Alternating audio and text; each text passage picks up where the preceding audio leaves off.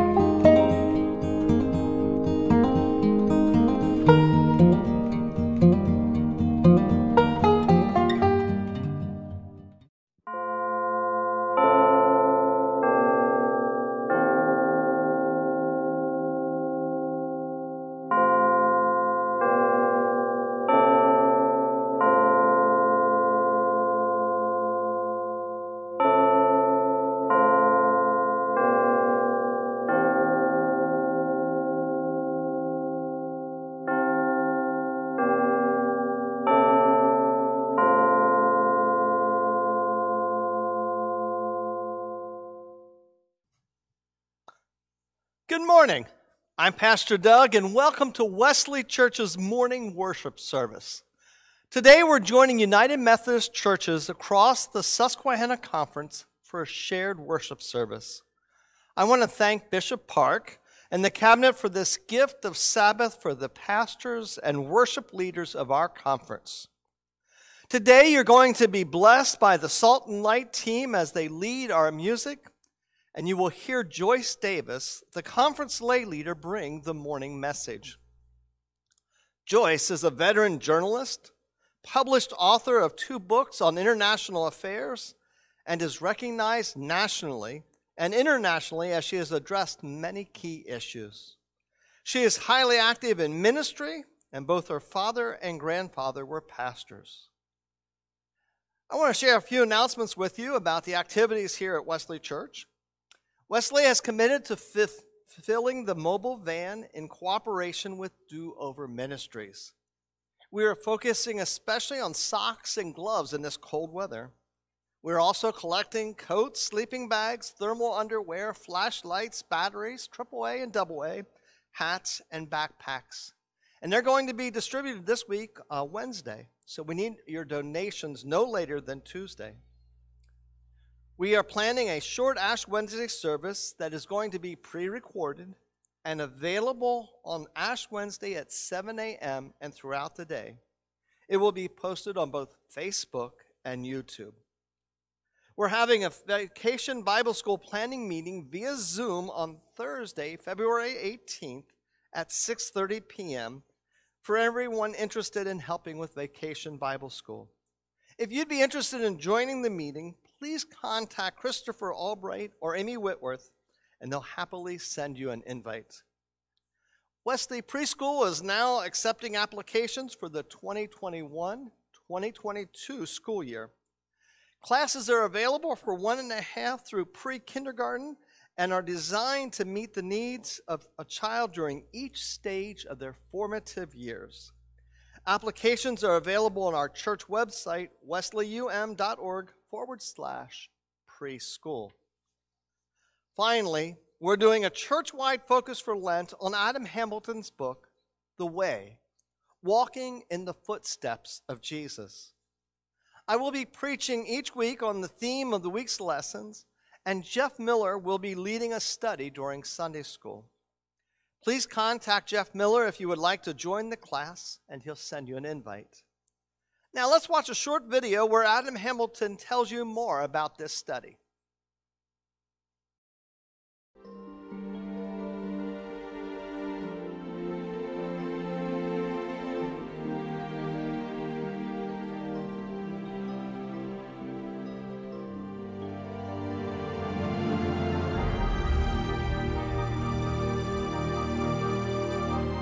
Hi, my name is Adam Hamilton, and I'm the author of The Way Walking in the Footsteps of Jesus.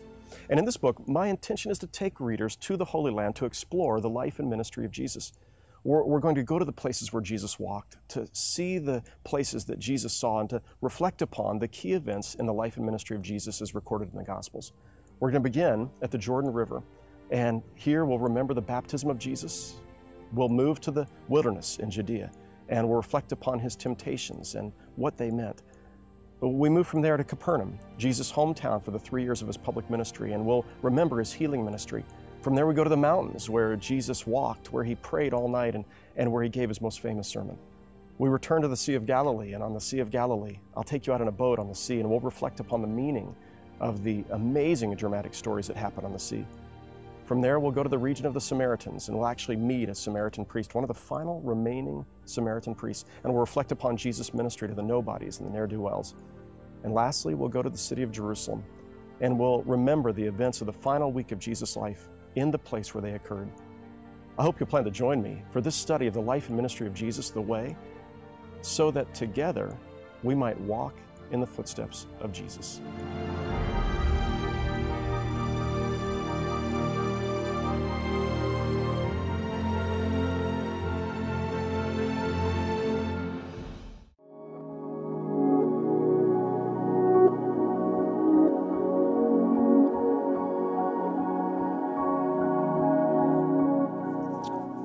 Greetings and peace, everyone. Welcome to worship.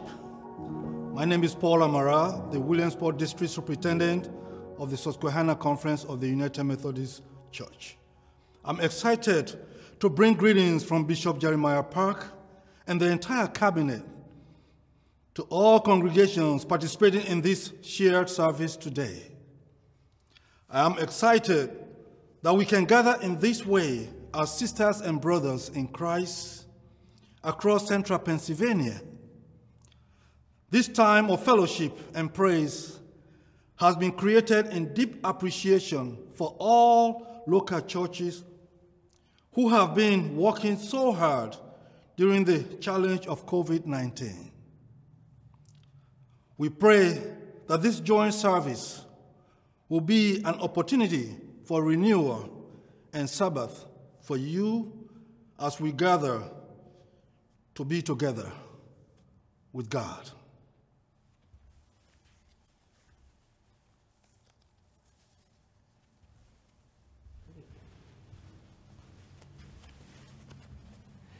Good morning.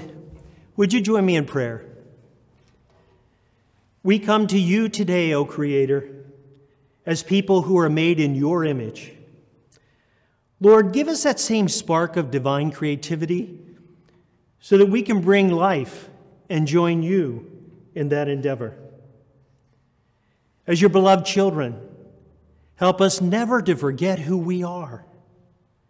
May we, with great purpose, bring goodness that produces healing, that brings love, and that creates wholeness. We are of many colors. We are of many backgrounds. We are of many abilities. And we are of many experiences. But we are one body in Christ. Our oneness reflects the wide embrace of your love for all people everywhere. When one suffers, we all suffer. When one rejoices, we all rejoice.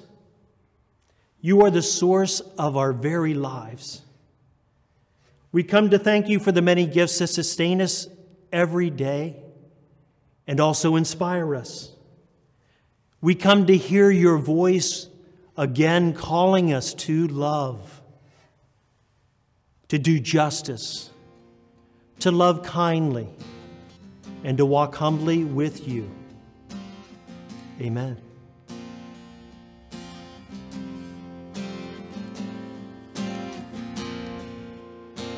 God of justice, Savior to all, you came to rescue the weak and the poor, chose to serve and not be served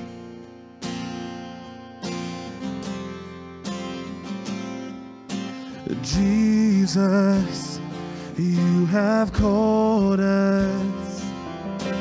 Freely we receive now, freely we will give. We must go, live to feed the hungry, stand beside the broken. We must go, stepping forward, keep us from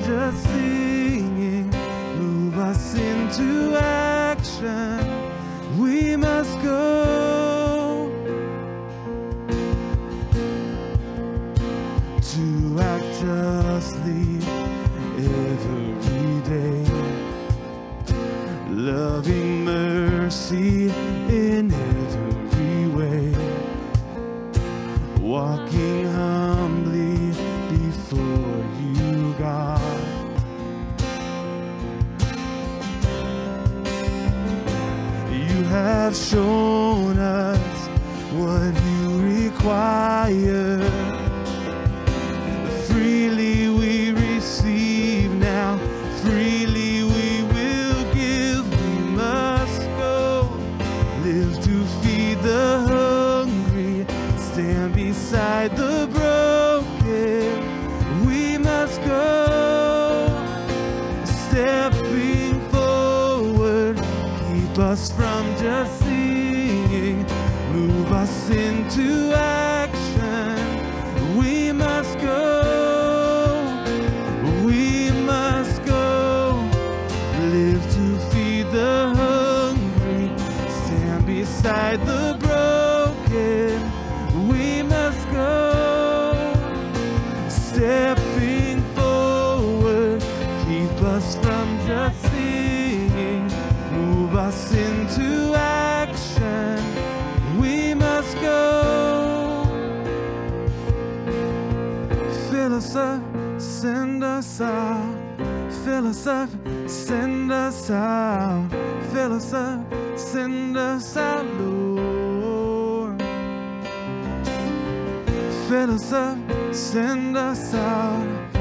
Fill us up, send us out.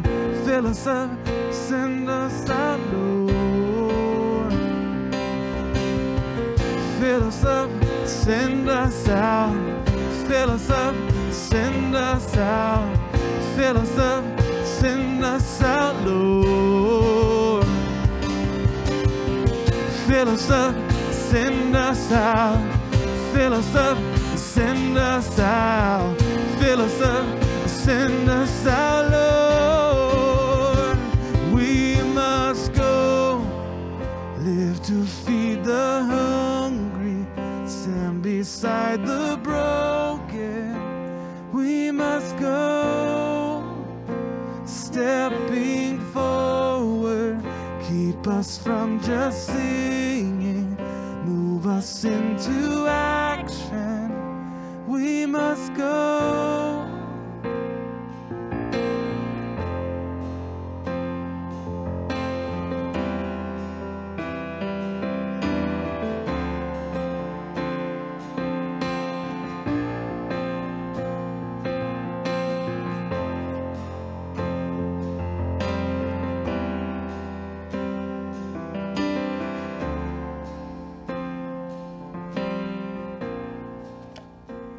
Matthew chapter 22, verses 34 through 40.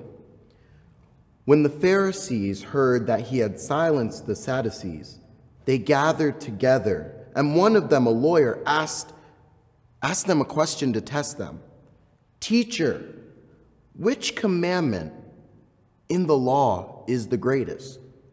He said to him, You shall love the Lord your God with all of your heart, and with all of your soul, and with all of your mind. This is the greatest and first commandment. And the second is like it you shall love your neighbor as yourself.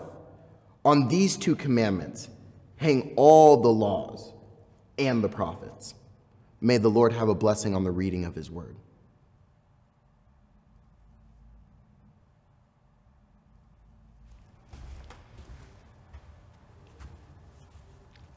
Please join me in a time of prayer. God, you are love. You hold us dear even when we fail to live out Christ's teaching. Out of love, you call us back to a renewal of our minds and our actions.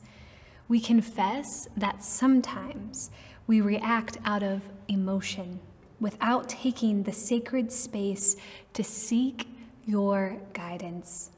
Sometimes we hold on to what others need because we are afraid we might not have all that we want. There is a tendency to muffle the voices of those who are suffering because it may require a change in how we live. Change is hard. Sometimes we are so tired from majoring in the minors that we have little left for what is truly meaningful and important. Forgive us, God, for veering from the way of Jesus. Inspire us, Holy Spirit, to awaken and live more generously for the good of all. Inspire us to trust how love works, how love exists as it flows from one to another in relationships we extend to friends, strangers, and even enemies. The natural consequences of sin are so predictable. Where love is absent, suffering, division, racism, hopelessness, greed, destruction, and even death abound. Give us the wisdom and the heart to repent, to turn and choose life, to choose love. Amen and amen.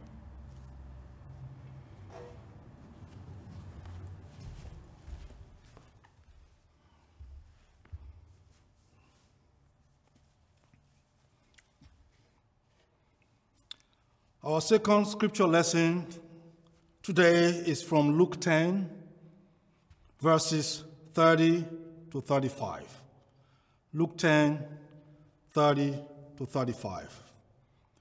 Jesus replied, A man was going down from Jerusalem to Jericho and fell into the hands of robbers, who stripped him, beat him, and went away, leaving him half dead. Now, by chance, a priest was going down the road, and when he saw him, he passed by on the other side. So, likewise, a Levite, when he came to the place and saw him, passed by on the other side. But the Samaritan, while traveling, came near him, and when he saw him, he was moved by pity. He went to him and bandaged his wounds, having poured oil and wine on them.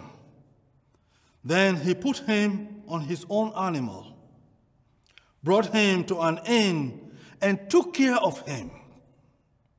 The next day, he took out two denarii, gave them to the innkeeper, and said, Take care of him, and when I come back, I will repay you whatever more you spend.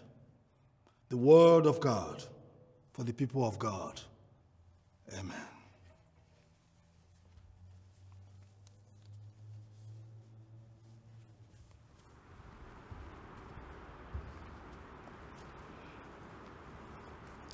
God's blessings to everyone today. And may I express my deep gratitude to Bishop Jeremiah Park and his esteemed cabinet for allowing me the opportunity to speak to you today.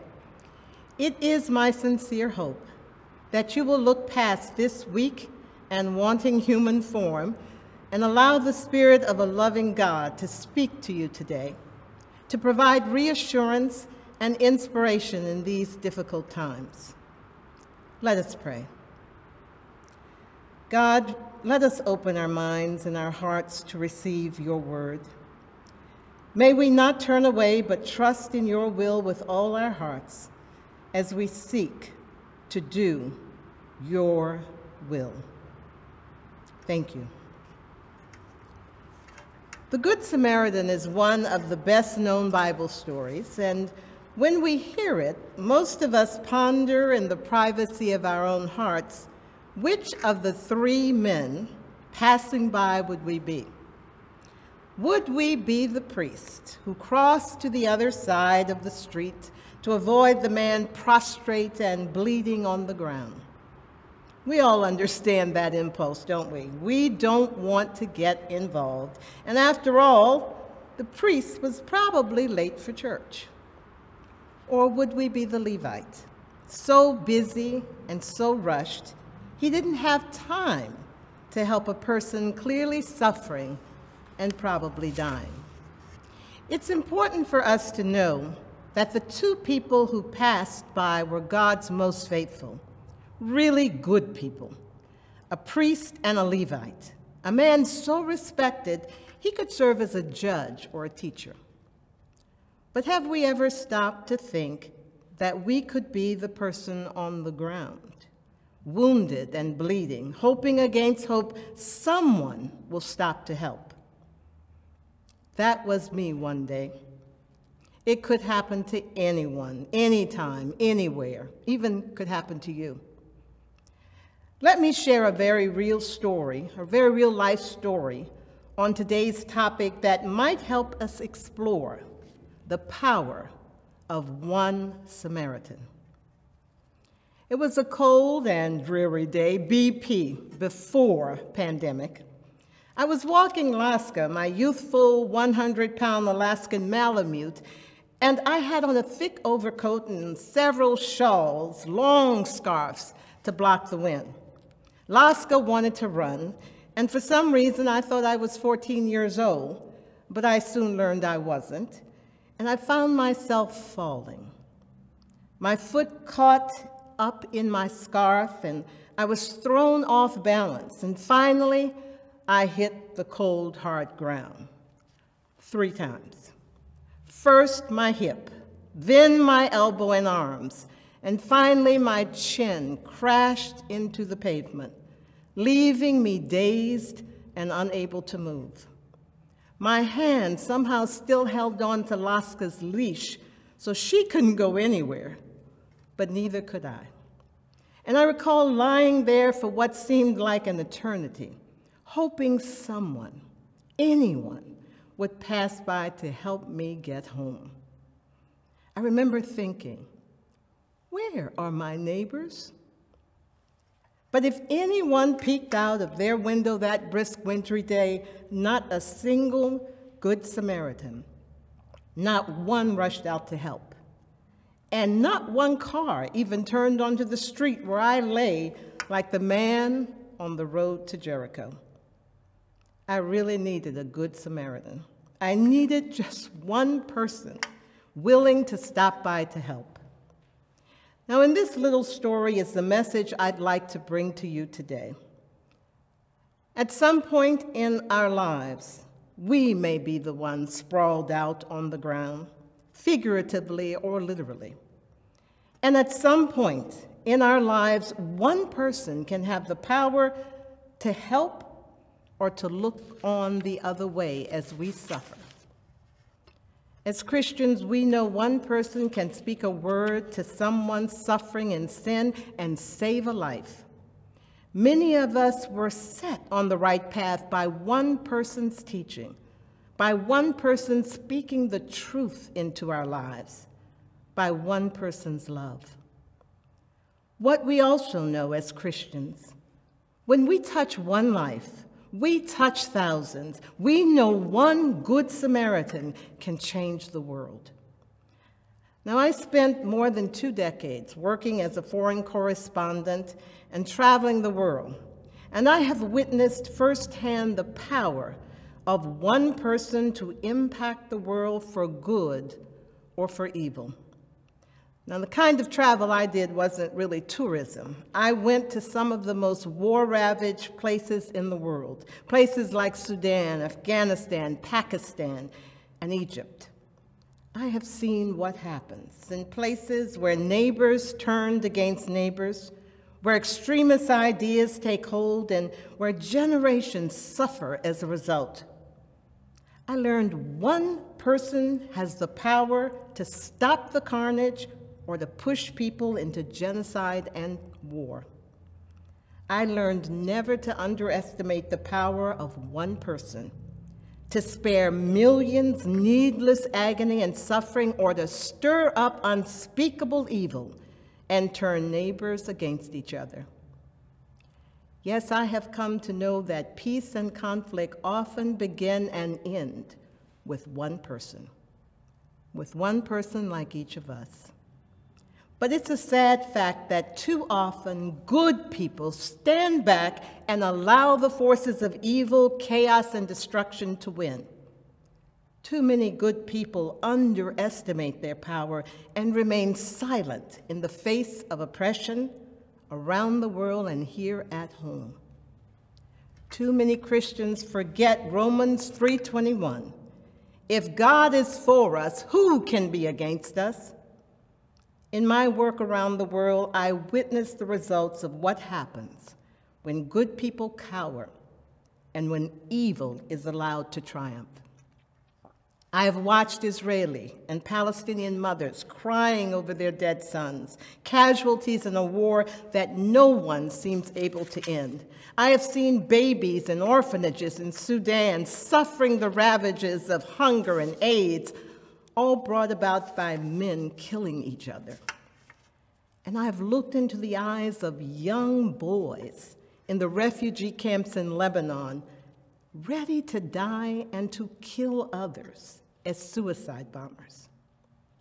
I have spent much of my life trying to understand the reasons for the brutality and injustice we see on the evening news. And I've learned the answer frequently boils down to one person the power of one person like you and me. In South Africa, it was brought home to me over and over again the courage and wisdom of one person, one Nelson Mandela, who could inspire millions to seek peace and who prevented what could have been a bloodbath of whites in that country. Then there are others who use their power for just the opposite. They are bent on domination, power, and revenge, and they get millions to follow them. Somehow, we never seem to learn what the Reverend Dr. Martin Luther King Jr. tried to teach us. Darkness cannot drive out darkness. Only light can do that. Hate cannot drive out hate. Only love can do that. Isaiah 117 offers a little more guidance. Learn to do right, seek justice, defend the oppressed, take up the cause of the fatherless, plead the case of the widow. In times like these, when the world is in chaos and our own communities are racked with political economic, and racial turmoil. The world needs each of us to live out these words and be that one good Samaritan with the courage to stand for what is right and to help those in need. Let me share with you another little story that may prove even more enlightening, if alarming. I used to work with the mayor of Harrisburg, and one afternoon he came into my office, sat down, he looked a little serious, and he told me my son had been in some danger. He had stopped a burglary, he told me, in process in Harrisburg. He told me Cole was driving down the street when he saw a woman. It seemed like an older Asian woman being dragged out of a grocery store and into the street. My son started honking his horn and then he pulled his car over. He caused the man to stop and run. Cole then got out of the car and ran to help the woman get back into her store. It all ended okay, but that was a dangerous thing for him to do, the mayor told me. Very dangerous. That man could have had a gun. Well, you can just about guess what I told my son when I talked to him on the phone. That was a reckless and dangerous thing to do, I said in no uncertain terms. That man could have had a gun. You could have been killed. What one of us would want our child to risk being killed? What one of us would want our child to be the good Samaritan if it meant getting shot?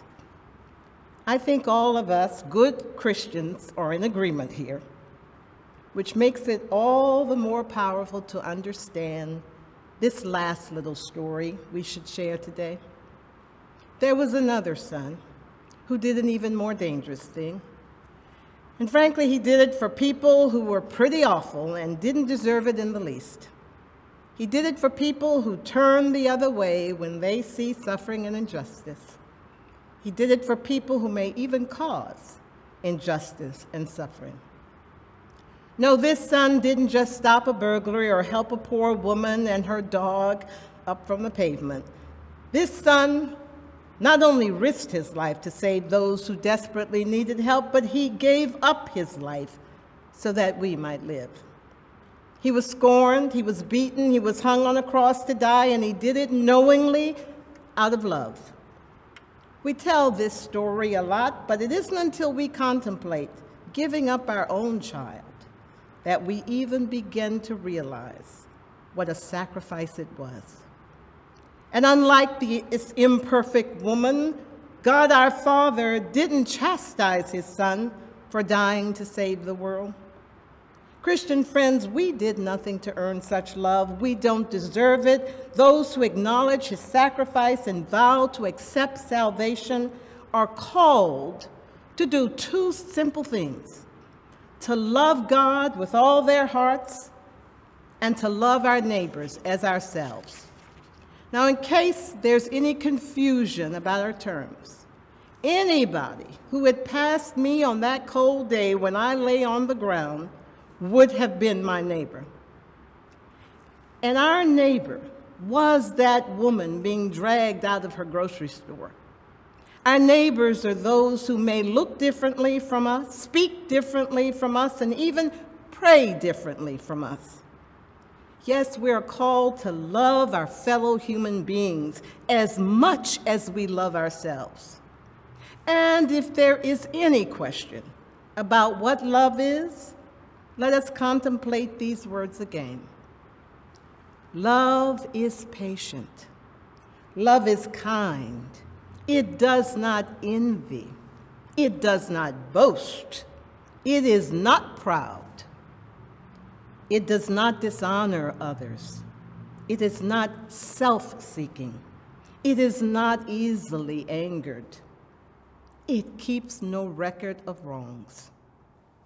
Love does not delight in evil, but rejoices with the truth. It always protects, always trusts, always hopes, always perseveres. Love never fails. So, today, as we think about the turmoil in our world, our country, our communities, even our families. Let us remember it will take the power of incredible love to drive out hatred.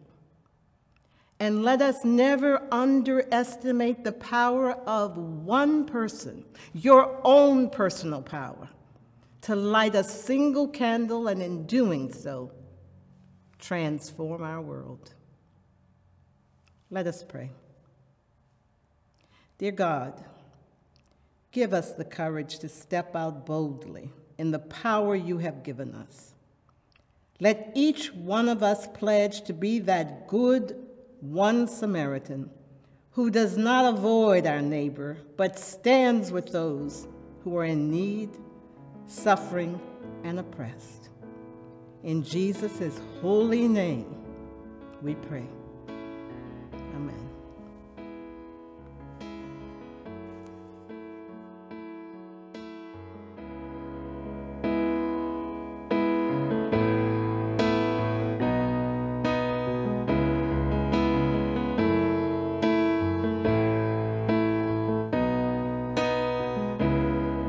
Sing this with us, they'll know we are Christians by our love. It starts with We are one in the Spirit.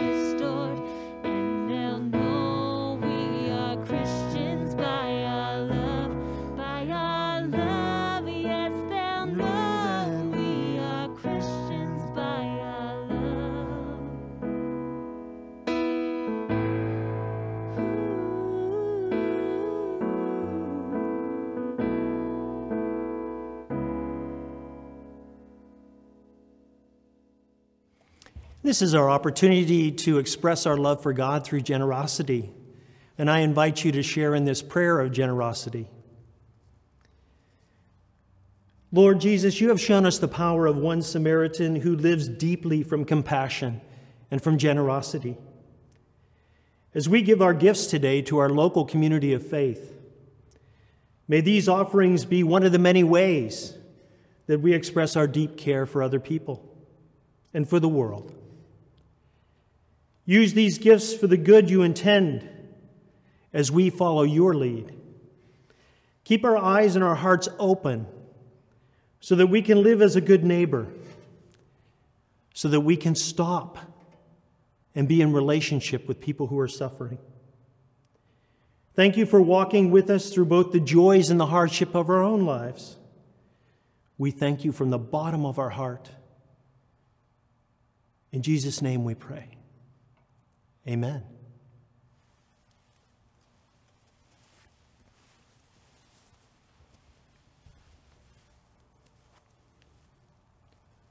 The prayer of St. Francis Lord, make me an instrument of your peace. Where there is hatred, let me sow love. Where there is injury, pardon. Where there is doubt, faith. Where there is despair, hope. Where there is darkness, light. Where there is sadness, bring joy.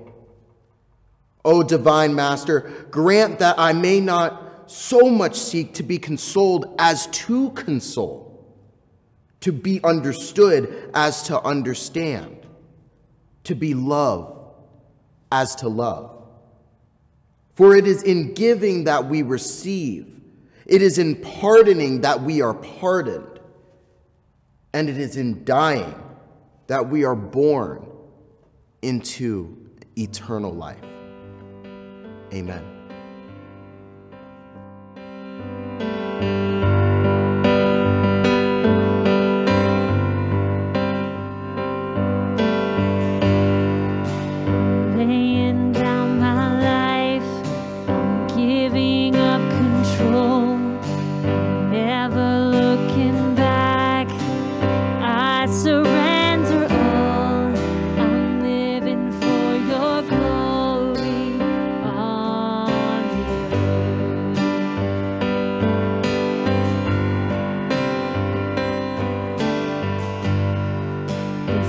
Passion in my heart. Is stirring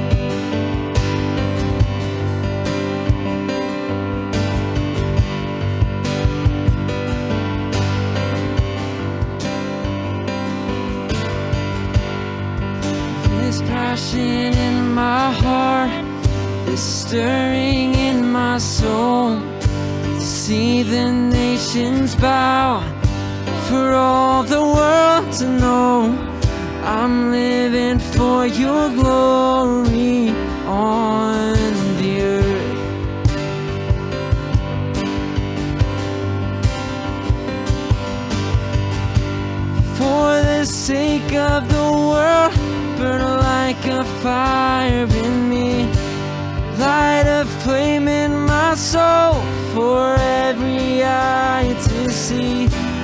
For the sake of the world, burn like a fire in me.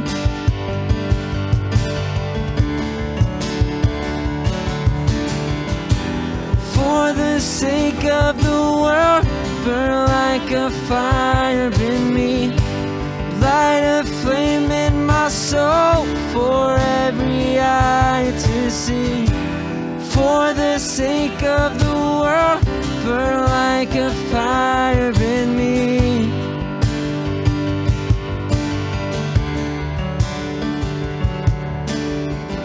For every knee to bow down, for every heart to believe, for every voice to cry out, burn like a fire in me, for every tongue to confess, you alone are the King, you are the hope of the earth, burn like a fire in me. For every knee to bow down, for every heart to believe, for every voice to cry out, burn like a fire in me, for every tongue to confess, you alone are the King, you are the hope of the earth, burn like a fire in me. burn like a fire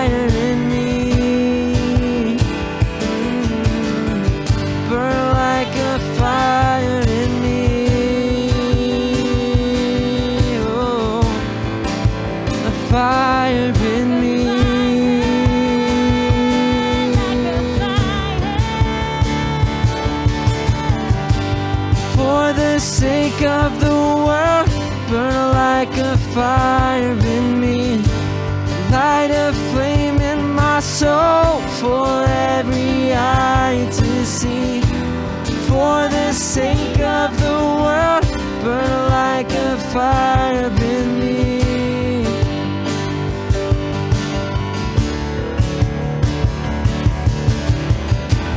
For the sake of the world, burn like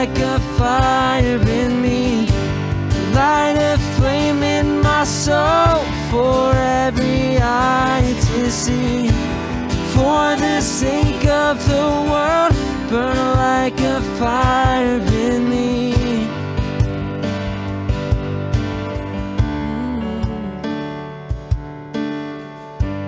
For the sake of the world, burn like a fire in me.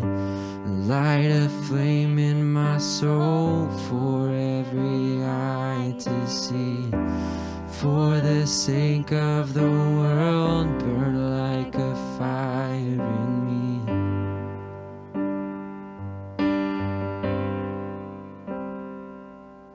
Dear Lord, I just pray you would set a fire in our hearts, a fire to follow you and to build your kingdom in this world, the kingdom that your Son spoke of. We would seek justice and love mercy and walk humbly. We would just have the courage to live life like you did, putting the last first feeding the hungry, serving the broken.